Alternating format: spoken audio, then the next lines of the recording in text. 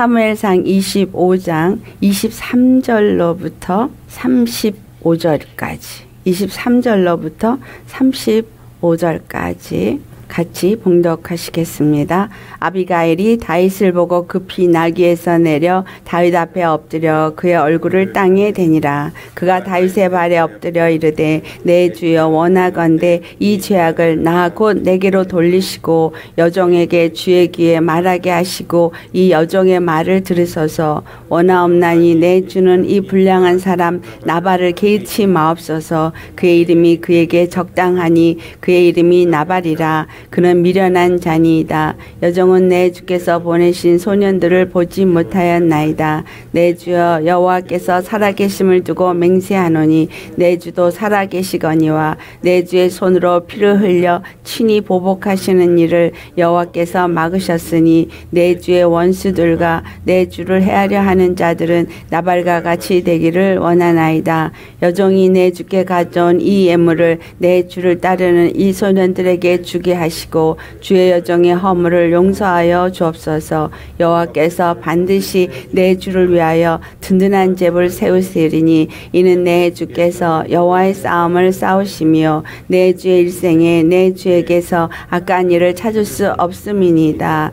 사람이 일어나서 내 주를 쫓아 내 주의 생명을 찾을지라도 내 주의 생명은 내 주의 하나님 여호와와 함께 생명 싸게 속에 쌓였을 것이요. 내 주의 원 원수들의 생명은 물매로 던지듯 여호와께서 그것을 던지시리이다.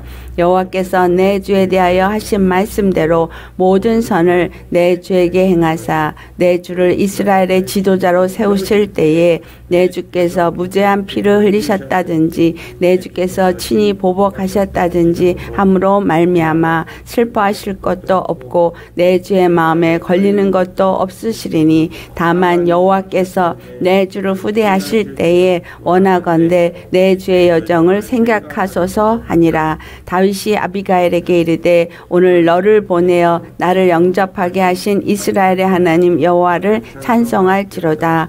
또 내 지혜를 칭찬할지며 또 내게 복이 있을지로다. 오늘 내가 피를 흘린 것과 친히 복수하는 것을 내가 막았느니라. 나를 막아 너를 해하지 않게 하신 이스라엘 하나님 여호와의 살아계심을 두고 맹세하노니 내가 급히 와서 나를 영접하지 아니하였다면 밝은 아침에는 과연 나발에게 한 남자도 남겨두지 아니하였으리라 하니라 다윗이 그가 가져온 것을 그의 손에서 받고 그에게 이르되 내 집으로 평안히 올라가라. 내가 내 말을 듣고 내 청을 허락하노라. 아멘. 오늘 우리가 읽은 본문 말씀의 시작은 아비가일이 다윗 앞에 나아가서 엎드려 그에게 경배하고 그에게 자기의 말을 하는 것이 시작이 되어집니다. 그리고 마지막에는 다윗으로부터 너의 그 원하는 대로 내가 이 모든 것을 다 받았으니 너는 이제 돌아가라 라는 말을 받아요. 이것은 지금 무엇을 의미하고 있어요? 그가 예물을 갖고 와서 다윗 앞에 드리고 우리가 즉 하나님 앞에 원하시는 예물을 가지고 와서 그에게 드리고 우리가 드리는 예배나 우리가 드리는 경배나 우리의 기도가 하나님 앞에 상달되어져서 주님으로부터 뭘 받은 거예요. 온전히 그것이 받으신 바 되어지고 응답되어지는 것을 기록하고 있더라는 거예요. 그런데 아비가일이 어떤 식으로 다윗 앞에 말을 하였는가 를 우리가 살펴보기를 원합니다. 그는 와서 다윗에게 그를 주로 표현하고 있어요. 그를 주로 표현하면서 아주 은혜되는 말을 24절에 합니다. 이 제약을 나 곧 내게로 돌리시고 아비가엘은 나발이 행한 그 행함 그 죄악을 나발에게 돌린 게 아니라 자기에게 돌리라고 표현하고 있습니다. 모세가 이스라엘을 위하여서 중복 기도할 때에도 그 죄를 자기에게 돌리라고 말했어요. 이 말씀대로 우리 주 예수 그리스도가 이 땅에 오셔서 자기 자신을 하나님 앞에 내어놓으시면서 우리를 위하여 우리의 죄를 우리에게 돌리지 아니하시고 당신이 그 몸에 짊어지시고 죽으심으로 우리를 구원하셨다는 거예요. 그래서 예수의 이름은 자기 백성을 그 죄에서부터 건져내신 자시다. 바로 우리의 구원자시다라는 거예요. 아비가일이 이제 다윗에게 나와서 그를 주로 부르면서 이 죄악을 나에게 돌리라 말하면서 그 불량한 사람 나발은 개의치 마소서 그는 미련한 자니다. 우리 주 예수님이 우리를 보실 때 어떻게 보시는가가 요한복음 2장 25절에 기록하고 있습니다. 예수님은 사람에 대해서 누구의 사람의 증언도 필요 없다 그래요. 왜? 어떤 사람이 증언해 주기를 원하지 않으시는 이유가 무엇이냐면 그는 친히 사람의 속에 있는 것을 다 아시기 거예요. 사람은 근본이 미련해. 근본이 악해요. 사람의 근본은 왜 악하냐 하면 선을 알지 못하기 때문에. 철학적으로 성선설, 성악설 주장들을 하지만 사람의 근본이 악하다고 하는 말은 사람은 선이 무엇인지 하나님의 생명이 무엇인지를 근본적으로 모르는 태어날 때부터 어머니의 태 속에서부터 죄인이기 때문에 모릅니다. 우리가 아무리 선을 행한다고 할지라도 그것이 진정 하나님이 인정하는 선인지 알지 못하죠. 그래서 주님은 사람에게 아무것도 기대하지 않는다는 거예요. 기대하지 않기 때문에 그분은 직접 그분이 계획하시고 계획하신 대로 이 땅에 오시고 이 땅에 오셔서 직접 모든 일을 이루시고 저희 백성을 저의 죄에서 구원할 자로 오셔서 우리를 그 죄에서 건지시기 위해서 십자가를 지셨다는 거예요. 그러니까 그 나발의 죄악을 누가 짊어지겠다는 거예요. 아비가일이 짊어지겠다는 거예요. 요 말씀의 진리를 우리가 예수님과 접목을 해서 보면 우리의 미련한 죄 말하자면 남편의 죄를 누가 짊어진 거예요? 여자가 짊어지겠다는 거잖아요. 이제 아담의 범죄를 누가 짊어졌냐 하면 여자로 온 예수님이 짊어졌다라는 거. 예수님이 이 땅에 오실 때 무엇으로 왔어요? 죄인의 형상으로 왔어요. 죄인으로 왔어요. 그래서 죄인으로 오신 것은 바로 우리 여자가 되어지는 우리를 위한 자로 오신 거예요. 그래서 그 죄를 나에게 돌리시옵소서. 그 육체로 오셔서 인자로 오셔서 아담의 모든 죄를 그가 다 그 몸에 짊어지고 십자가에 죽을 때 누구를 대신해 죽은 거예요? 인생들 그리스도의 신부가 되어진 여자들이 지은 죄를 그 몸에 짊어지신 거나 아담의 죄를 그 몸에 짊어지신 거나 같은 의미를 주고 있다라는 거예요. 나발이 지은 죄, 바로 죄로 말미암아서 모든 자들이 다 죄가 들어온 것처럼 나발의 죄는 누구에게 다 임한 거예요? 그의 아내에게도 똑같이 만 거예요. 이스라엘의 관점에서 그렇습니다. 이스라엘의 성경적인 관점은 남자가 할례를 받죠. 그럼 여자는 할례를 받을 필요가 없이 만든 것은 여자는 남자에게 속한 것이기 때문에 그래서 아담 한 사람이 범죄함으로 모든 자가 다 범죄하고 모든 자에게 다 세상에 죄가 들어오고 죄로 말미암아 사망이 들어와서 사망이 왕노릇하는 것이 바로 그와 같은 의미죠. 그런데 그 죄를 나에게 돌리시옵소서. 예수님이 이 땅에 죄인으로 오셔서 여자들 아내 바로 그 하와가 지은 죄를 짊어 지은 거예요. 아담이 하와가 선악과를 줄 때 그 선악과를 그대로 받아 먹은 것과 같이. 왜? 그 죄를 그가 짊어지기 위해서.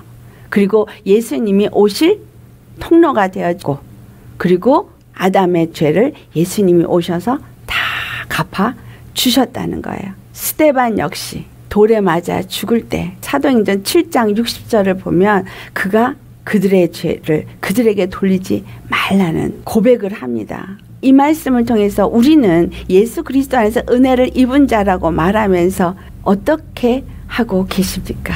예수님이 가르쳐 준 기도 중에 주기도문에 나에게 죄를 지은 자를 내가 용서한 것과 같이 우리의 죄를 용서하여 주시옵소서 이런 기도가 있죠. 예수님이 우리의 죄를 다 도말하시고 죄를 기억지도 아니하시고 완전히 다 도말하여 주셨다는 거예요. 히브리서 10장 17절에서 18절 말씀이에요. 그들의 죄와 그들의 불법을 내가 다시 기억하지 않겠다고 하셨어요. 이것을 사해 주셨기 때문에 우리에게 다시는 죄를 위하여서 드릴 제사가 없다라고 말씀했어요.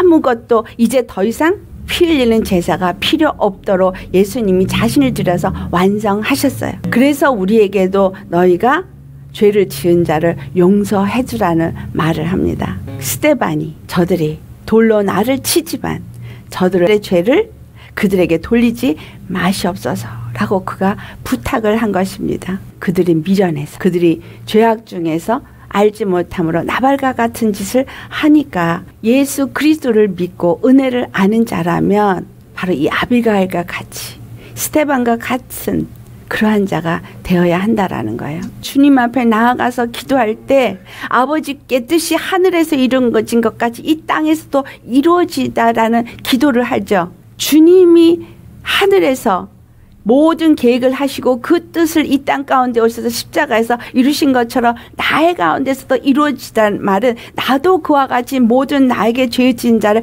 다 용서하고 그 죄를 그들에게 돌리지 마옵소서. 왜냐하면 예수님이 그 죄를 다 이미 갚아 주셨기 때문에 이렇게 기도할 수 있는 자가 되어야 하는 겁니다. 우리가 예수님 앞에 나아갈 때 예수님 앞에 도대체 무엇을 기도하는가? 아버지 나 이거 필요해요. 저거 필요해요. 이거 해주세요. 저거 해주세요. 그 기도보다 더 중요한 것이 하나님과 나와의 관계가 온전하게 되어지는 게 그 무엇보다 먼저인데 그 관계가 온전하게 되기 전에 주님은 먼저 해야 될 것을 얘기한다는 거예요. 그래서 너희가 재판장에 가기 전에 먼저 형제와 사화해라 이런 말을 하는 거예요. 내 마음에 응어리지고 용서하지 못하고 있는 거 이런 것들을 먼저 하나님 앞에 고백해야 되는 거예요. 왜? 주님이 그와 같은 은혜를 주셨기 때문에 그 죄를 그들에게 돌리지 마옵시고 나에게 돌리시옵소서.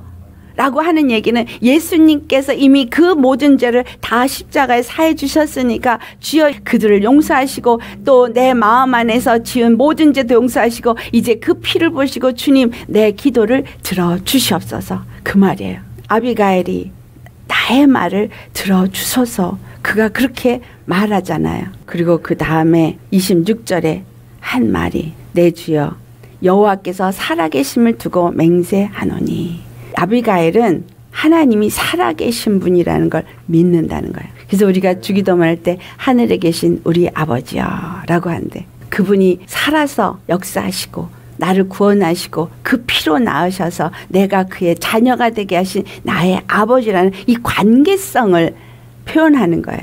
모든 기도를 할 때 정말 우리는 하나님이 살아계신 분이라는 걸 믿고 기도하십니까? 그분이 살아계시기 때문에 그분이 모든 일을 이루실 거라는 걸 믿는 믿음을 고백해야 되는 거예요. 그리고 나서 살아계신 하나님 앞에서 이제 내가 깨닫고 안 것을 고백하겠다. 그 다음에 말을 하고 있는 것이 뭐냐면 친히 주의 손으로 피를 흘리지 말라는 거예요. 보복하지 말라는 말을 합니다. 그러면서 이제 내가 여기 온 것은 내 주의 손으로 피를 흘려 친히 보복하시는 일을 여호와께서 막으셨으니라고 말합니다. 자, 로마서 12장 19절 말씀 우리 찾아 봉독하시겠어요? 하셨으면 같이 봉독하겠습니다.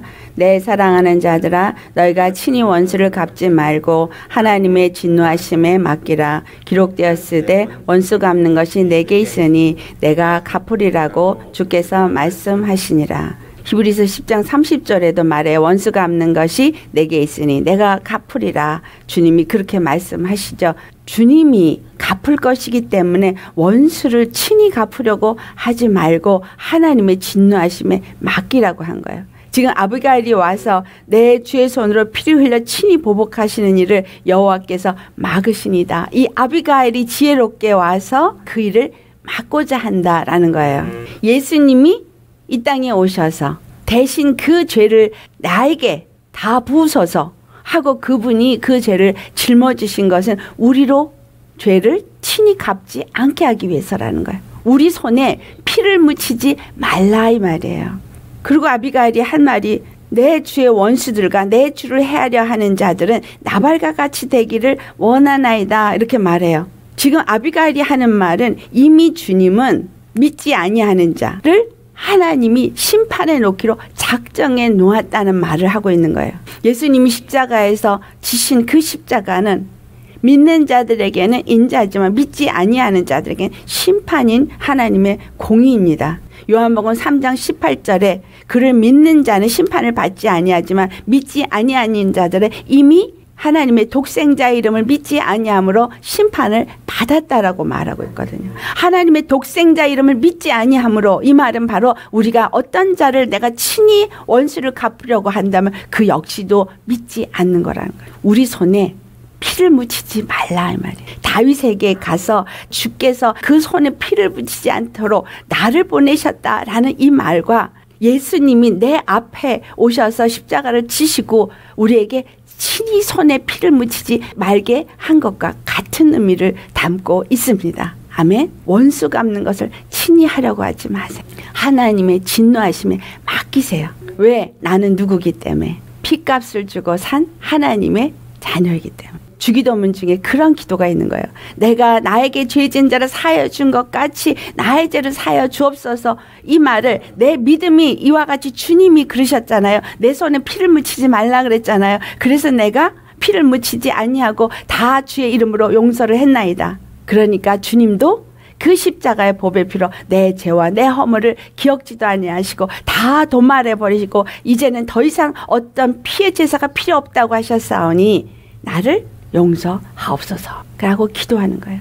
주님과 나와의 관계가 지금 내가 이게 기도하고 있는 이 기도가 내가 드린 예배가 나의 모든 주 앞에 청하는 것들이 상달되어지고 온전한 교통을 맺기 위해서 단계를 밟고 있는 거예요. 무조건 하나님 들어 주시옵소서 한다고 하나님이 어 그래 들어줄게가 아니라는 거예요. 주님 안에서 믿고 세례를 받은 사람은 구원을 얻지만 믿지 않는 한 사람은 정죄를 받는다 그랬거든요. 그러니까 예수님의 이름으로 예수님 안에서 온전히 행하는 사람은 구원을 받지만 그렇지 않은 자는 정죄를 받아 하나님의 심판에 이를 것이기 때문에 심판받을 자는 그대로 두라는 거예요. 내가 아버지 장사를 지내러 가야겠다 그러니까 예수님이 뭐라 그러세요? 죽은 자의 일은 죽은 자에게 맡기라는 거예요. 하나님 심판을 하실 때도 죽은 자의 일은 죽은 자에게 심판하게 하십니다. 그래서 너는 나를 따르라. 너는 그냥 믿음으로 나와 교제하자. 나만 바라봐라. 그 말이에요. 아비가엘이 이 여정이 가져온 예물을 받으시고 이제 소년들에게 주고 이 여정의 허물을 용서하여 주시옵소서. 주님 앞에 이제 예물을 가지고 나. 너희가 주님 앞에 나올 때 빈손으로 나오지 말라라는 말을 하죠. 주님 앞에 나올 때 우리가 빈손으로 나오지 말라라는 얘기는 돈을 꼭 가지고 와라. 그런 의미를 담고 있는 것이 아니라 반드시 제사를 지내러 나올 때 이스라엘 사람들은 재물을 갖고 나와야 되거든요. 빈손으로 절대로 갈 수가 없어요. 재물은 우리 주 예수 그리스도죠. 우리 주 예수 그리스도의 피를 가지고 하나님 앞에 나아가야 되는 거예요. 예수 그리스도의 피를 가지고 나아갈 때 내 심령이 그 피로 말미암아 세례받은 심령이 되어서 온전히 그 피로 내가 구원함을 얻고 은혜를 받은 자의 마음이 되어져서 나가야 된다는 거예요. 주님 앞에 여러분은 어떤 마음으로 나아가서 기도합니까? 그분을 경배하시는 그 경배가 반드시 빈손이 아닌 내 믿음을 갖고 나아가야 되는 거예요. 예수님의 피를 갖고 나아가야 합니다. 아멘. 이 피를 가지고 나아가는 자는 자기 자신을 산재물로 여호와 앞에 드리는 자가 되어지죠. 그래서 이것을 로마서 12장의 1절에 영적 예배로 말씀하고 있는 거예요. 하나님이 찾으시는 예배는 영적 예배예요. 내 안에 예수 생명, 예수 피가 있는 자들이 하나님 앞에 그걸 드리면서 주님, 이제 주님께서 주님의 일을 하실 것인데 무슨 일을 할 것이냐. 이 아비가엘이 고백을 28절부터 하고 있습니다. 여호와께서 반드시 내 주를 위하여 든든한 집을 세우시리니 이는 내 주께서 여호와의 싸움을 싸우시며 그리고 내 주 일생에 내 주에게서 악한 일을 찾을 수 없음이니이다. 아비가일이 자기의 허물을 용서해 주기를 구하면서 한 이 말씀들을 하나하나 잘 살펴보시겠어요. 예물을 드리며 용서를 구하는 이 아비가일은 무엇을 말하고 있어요? 여호와께서 다윗을 통하여서 든든한 집을 세울 것을 말합니다. 여호와께서 집을 세우시기 위해서 다윗을 세우시는 이스라엘 세우기에서 다윗을 세우시는 이것은 무엇을 말하고 있는 거죠? 구약에서는 다윗을 통해서 이스라엘 집을 세우는 거지만 영적으로 신약에 와서 예수 그리스도 다윗의 위를 가지고 오신 우리 주 예수 그리스도를 통해서 하나님의 집을 세우는 것을 말하고 있다는 거예요. 예수 그리스도를 통해서 하나님의 집을 세우실 것을 이 아비가일이 고백하고 있는 거예요. 예수 그리스도께서 십자가에 죽으시고 부활하시면서 기초돌이 되셨어요. 모퉁이 돌이 되셨어요. 그 말씀을 에베소 2장 20절에 말하고 있습니다. 기초돌, 모퉁이가 된 그 돌, 그 돌이 하나님의 집, 그 집의 시작점인 거예요. 예수님을 통해서 이제 모두가 하나하나 십자가에 연합된 믿음을 가진 자들이 예수님과 함께 연합되어질 때 그 집이 든든하게 세워지는 거죠. 다윗과 연합되어진 자들이 이스라엘을 온전히 세운다는 거예요. 그로 인해서 집이 세워질 때 무엇 때문에 집이 세워진다 그랬어요? 여호와의 싸움을 싸우기 때문에 집이 지어진다라고 말해요. 이 나발은 누구예요? 같은 유다 족 속이에요. 같은 친족이에요. 친족을 죽여서 손에 피를 흘리는 일은 하지 말고 여호와의 싸움을 싸우는데 여호와는 누구를 위해서 싸우느냐 하면 여호와는 악한 원수를 대적해서 싸우는 거예요. 악한 원수를 대적하죠. 자, 블레셋을 대적하거나 모압과 암몬을 대적하거나 이와 같은 것들은 무엇을 대적하냐면 이스라엘을 괴롭히는 자들을 대적하는 거예요. 우리 안에 있는 믿음은 내 안에 있는 악과 싸우는 거예요. 죄와 싸우는 거예요. 형제와 싸우는 게 아니에요. 나에게 악을 행하였다 할지라도 그 악을 행한 그 죄를 싸워야 되는 거예요. 여호와의 싸움을 싸우기 때문에 그 당시에 다윗에 대한 얘기는 이미 모든 자들에게 다 알려져 있어요. 더욱이 유다 사람들에게는 더욱이 알려졌죠. 왜냐하면 사울이 죽인 자는 천천히요. 다윗이 죽인 자는 만만이라. 그리고 나서 400명이 600명을 누르고 600명이 유다 땅에 돌아다니는데 유다 사람들이 다 알죠. 정말 하나님이 다윗과 함께하고 있는 걸 이 아비가일은 알더라는 거예요. 그리고 이 아비가일은 블레셋과 싸웠고 그 일날을 구원하였고 그와 같이 하나님의 구원을 위해서 싸우는 자인 것을 압니다. 우리 주 예수 그리스도께서 십자가에 죽으신 것은 하나님의 뜻대로 그 원수를 대적하는 싸움을 싸운 거예요. 내 싸움이 하나님의 뜻대로 그 원수를 대적하기 위해서 싸우기 위해서 여러분이 구한다면 주님이 모든 것을 들어주실 것입니다. 나의 어떤 욕심을 위해서, 나의 유기를 위해서 구한다면 그 기도는 상달이 안 되겠지만 하나님의 뜻을 위해서 하나님의 원수와 싸우기 위해서 만약에 우리가 하나님의 싸움을 싸우기 위해서 구한다면 내가 주 앞에 용서함을 얻고 제사함을 얻으면 그 다음에 뭐가 찾아온다 그랬죠? 회개하고 제사함을 받으면 성령을 선물로 받으리라. 회개하고 주여 내게 성령을 보내 주시옵소서. 구하게 되죠. 주의 성령을 보내주는데 이 성령을 받는 걸 뭔가 은사를 받아서 어떤 은사를 나타내고 나를 자랑하기 위해서 구한다면 그것은 잘못 구하는 거예요. 하나님의 싸움을 싸우기 위해서 그것이 구해져야 하는 거예요.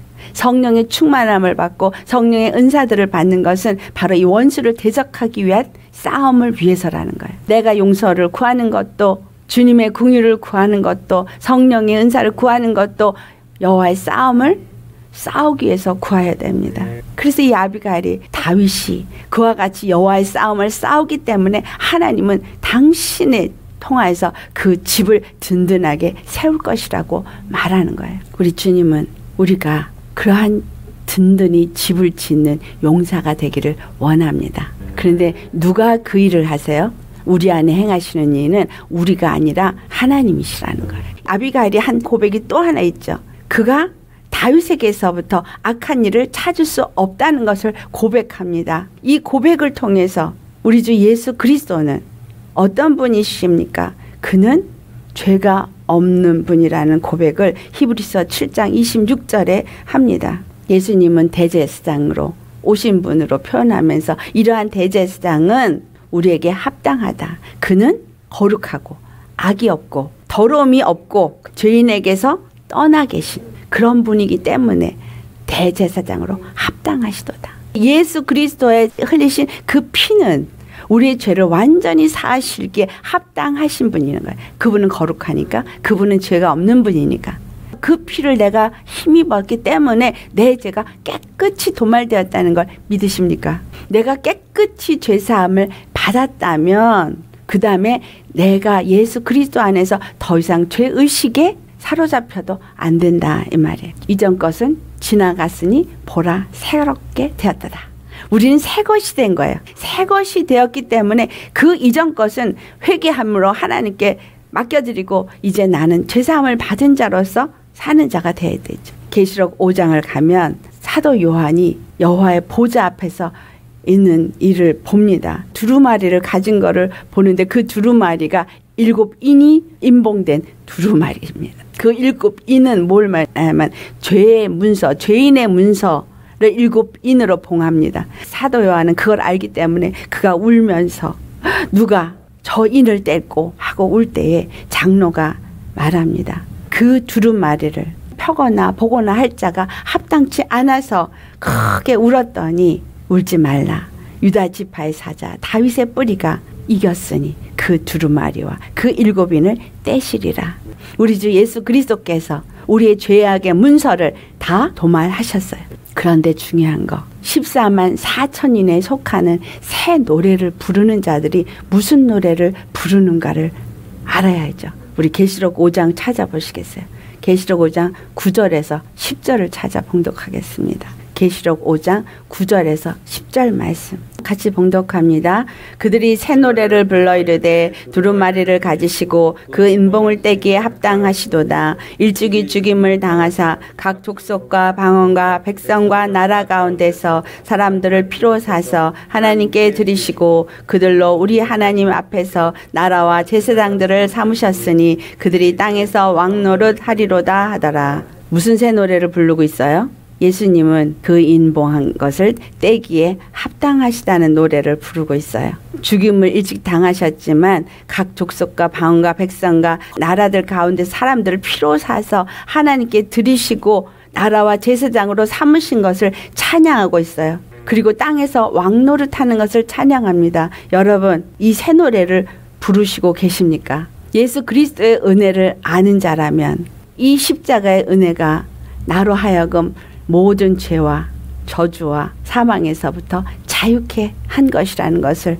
믿는다면 우리는 이 노래를 부를 수 있는 자가 되어야 합니다.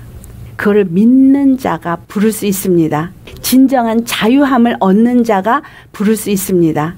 주님을 찬송하는 자는 이 죄와 사망에서 건짐을 받은 자가 찬송을 할 수 있는 거예요. 이 땅에 사는 우리의 모든 삶이 이것을 찬송하는 삶이 되기를 축원합니다. 아비가일이 다윗에게 한 말 바로 다윗에게 살아계신 하나님은 다윗을 통해서 그 집을 든든히 세우시고 그리고 하나님께서 이루고자 하시는 그 뜻을 반드시 이루실 거라는 걸 고백합니다. 믿으십니까? 예수 그리스도를 통해서 인을 떼신 하나님이 나의 삶 속에서 하나님의 집을 든든히 세우시고 반드시 그 뜻을 이루실 것을 믿으십니까? 내가 하는 것이 아니라 누가 그 일을 하시는 거예요? 주께서.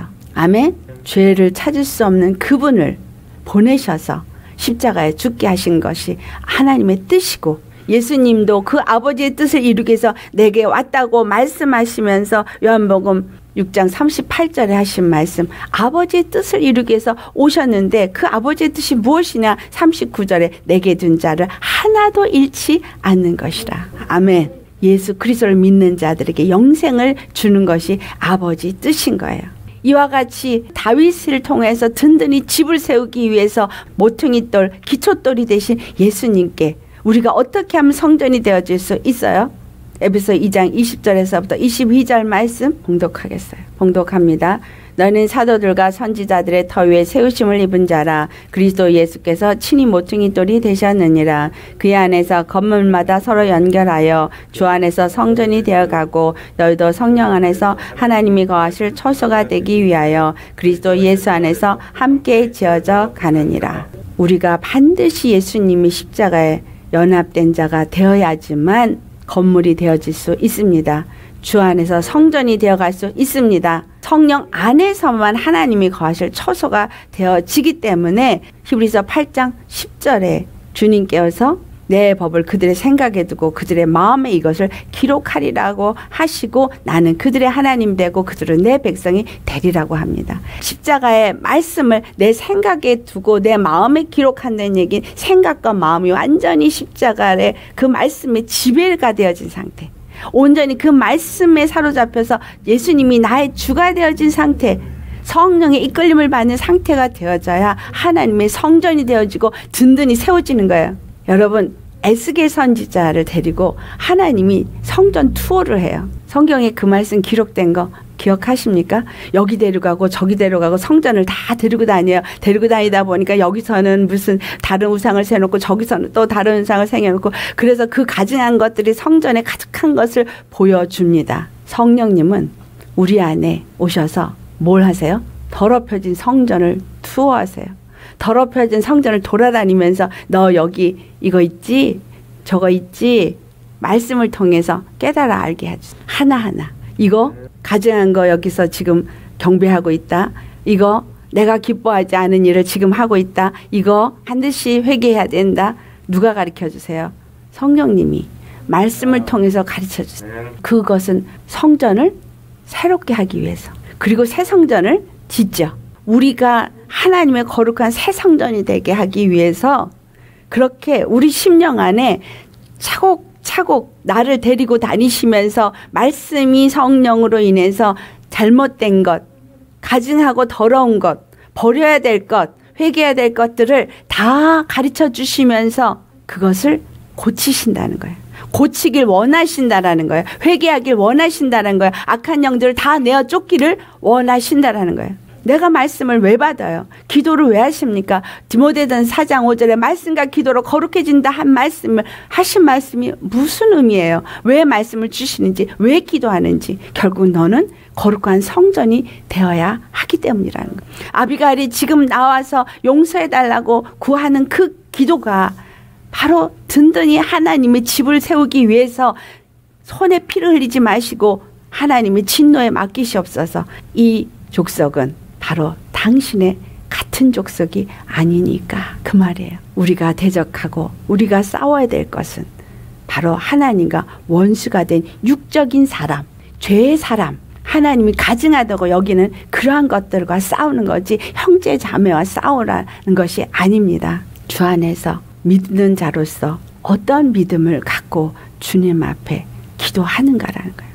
어떤 믿음을 갖기 위해서 주 앞에 구하느냐라는 겁니다. 우리가 주님 앞에 살아계신 하나님 앞에 불꽃 같은 눈 앞에 하나도 숨길 것이 없는 것을 아시기를 원합니다. 믿는다고 말만 하지 마시고 그분은 살아계세요. 그분은 불꽃 같은 눈으로 우리를 보고 계세요. 우리의 깊숙한 곳까지도 다 아십니다. 그분 앞에 가릴 수 있는 것이 없어요. 그러니까 죄를 지어서도 해가 지기 전에 빨리 회개해야 되는 거예요. 너무 중요한 말씀이 29절 말씀이에요.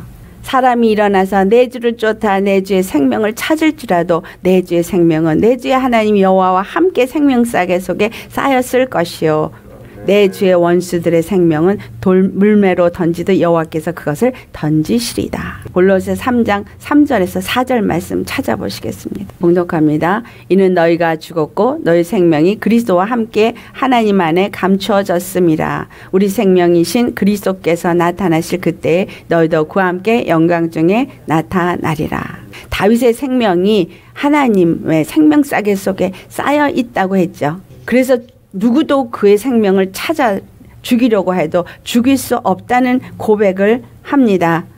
우리가 십자가의 육에 대해서 죽고 예수님의 생명으로 그리스도 안에 사는 믿음의 사람이라면 누구도 우리를 해할 자가 없습니다. 왜냐하면 우리 안에 있는 생명은 하나님의 생명싸개 속에 있기 때문에. 그래서 나를 죽이려고 해도 육은 죽일 수 있을지 모르지만 내 안에 있는 영의 생명은 절대 죽일 수 없는 그러한 자가 되셔야 합니다. 그래서 예수 생명이 있는 자, 그리고 그 생명 안에 사는 자는 육에 대해서는 죽은 자요. 예수 그리스도 안에서 영으로 사는 자가 되어야 하는 거예요. 사도 바울이 그러니까 누가 우리를 그리스도의 사랑에서 끊으리오라고 말한 거예요.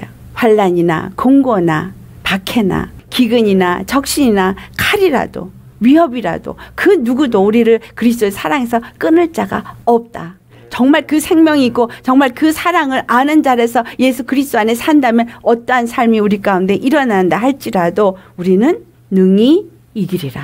아멘. 나의 생명이 어디 있어요? 예수님 안에. 그렇습니까? 진실로 그렇습니까? 육에 대해서 죽은 자만이 예수님 안에 생명이 있는 거예요. 주께서 모든 선을 이제 그러니까 행하시옵소서 그런 거예요. 아비가일이 이제 다윗에게 그러니까 당신은 선을 행하세요. 그 손에 피를 묻히지 마세요. 그런 거예요. 정말 내가 예수 그리스도 안에서 생명을 가진 자요. 예수님이 그 모든 것을 다 갚아는 주는 자요. 그러므로 인해서 어떤 분도 내가 내지 않냐고 주님 앞에 맡긴 자는 생명 안에서 기뻐하고 즐거워하고 의로 사는 자가 되는 겁니다. 낙심도 원망도 분노도 할 것이 없는 거예요. 그러니까 주 앞에 뭐만 하겠어요? 기도하겠죠. 맡기고 기도하는 자가 될 수밖에 없는 거예요. 나는 갈 길을 모르기 때문에. 나는 아무것도 모르니까. 나는 어린아이 같은 자이기 때문에. 아비가일이 참으로 지혜롭고 아름답습니다. 31절에 그가 말합니다. 내 주를 후대하실 때에 내 주의 여정을 생각하소서. 여호와 하나님이 당신을 이스라엘의 지도자로 분명히 세우실 것입니다. 그러니까 이제 그 주로 세울 때에 나를 후대하여 주시옵소서. 누구 생각나는 사람 없어요? 이 말씀 생각하실 때 십자가에 달리셨을 때 옆에 있는 강도 한 강도는 당신이 그리스도이시면 우리를 구원하라. 너도 왜 십자가에 달려 있어? 나를 구원하지? 여러분의 믿음은 어떤 믿음이세요? 주님이 우리의 구원자라면서 왜 나를 구원하지 않아요? 왜 나를 이렇게 고통 가운데 두세요? 왜 나를 여기서 건져주지 않으세요? 그렇게 불명하느냐? 아니면 다른 강도는 그를 꾸짖으면서 말합니다. 누가복음 23장 40절에 내가 동일한 정죄를 받고서도 하나님을 두려워하지 아니하느냐? 우리는 우리가 행한 일에 상당한 봉을 받는 것이니 이에 당연하거니와 이 사람이 행한 것은 옳지 않은 것이 없느니라. 우리 주 예수 그리스도께서 십자가 행하신 일이 어떤 것인지를 아는 자라면 그 강도도 똑같은 말을 하죠. 아비가엘이 당신이 이제 왕이 될 때 나를 후대하소서라고 이 여정을 생각하소서 한 것처럼 그도 42절에 예수여 당신의 나라에 임하실 때 나를 기억하소서 지금 예수님이 십자가에 달려 있는데 똑같이 죽어가고 있는데 이 강도는 주님의 나라가 임할 것을 믿는 자였다라는 거예요. 그러니까 그는 무슨 응답을 받아요? 오늘 내가 나와 함께 낙원에 있으리라. 아멘. 그가 비록 육체의 죄를 지어서 십자가에 죽는다 할지라도 그가 예수님으로부터 그 믿음으로 말미암은 응답을 받더라는 거예요. 아비가엘도 다윗으로부터 이제 응답을 받죠. 너를 내게 보내어서 나로 피를 흘리지 않게 한 그 여호와는 찬성을 받으실지어다. 그러면서 그 살아계신 하나님의 이름으로 맹세를 하면서 이제 너는 평안히 올라가라. 내가 내 말을 듣고 내 청을 허락하노라. 아비가엘은 죄의 용서도 받았고 모든 가산을 지킬 수 있었고 그의 믿음이 지혜를 하나님으로부터 받았고 지혜를 받은 그 믿음이 믿음의 고백으로 다윗에게 드림으로 그는 구원을 경험하는 자가 되었습니다. 우리가 주님 안에서 기도를 드리면 반드시 기도에 응답을 받아야 되잖아요. 그래서 어떤 기도를 드리느냐를 이 아비가일이 우리에게 가르쳐 주고 있습니다. 예수 그리스도의 피를 자 그가 반드시 그 일을 이루실 거라. 하나님이 아브라함에게 약속하셔요. 무엇을 약속하냐? 히브리서 6장 14절에 내가 반드시 너에게 복 주고 복 주며 너를 번성케 하고 번성케 하리라. 그 약속을 하신 일을 십자가에서 이루신 거예요. 그래서 그가 기초돌이 되신 거예요. 모퉁이 돌이 되셨어요. 그래서 이제 예수 그리스도 안에서 믿음으로 나아가는 자들은 든든하게 그의 집을 세우는 자가 되는 것이고 그 안에서 일하시는 분은 성령이시고 그러니 그의 나라가 임할 때에 주여 나를 기억하소서. 주님의 나라가 이제 집이 세워지고 이제 왕으로서 자정하실 때 주여 나를 기억하소서. 그렇게 될 수 있을 만큼 여러분 예수님 앞에 그분을 정말 주로 예수 그리스도 십자가 외에는 다른 구원의 길을 주시지 않은 것을 믿는 믿음으로 구하고 계십니까? 그래서 모든 신원을 그분이 다 해주시도록 맡기면서 원수 갚는 것도 맡기고 내가 그것을 짊어지고 내 안에 더러운 것들 가증한 것들을 둔 자가 되지 아니하고 예수 그리스도의 피로 말미암아서 그 가증한 모든 것들을 낱낱이 드러내서 죄악을 다 회개하고 주님 안에서 새 성전으로 지어지고 거룩한 성전으로 지어져서 주님이 내 안에 거하시고 주님의 뜻대로 그 모든 일을 이루실 수 있게끔 하는 자가 되고 있습니까? 정말 새 노래를 부르는 자 되시기를 축원합니다.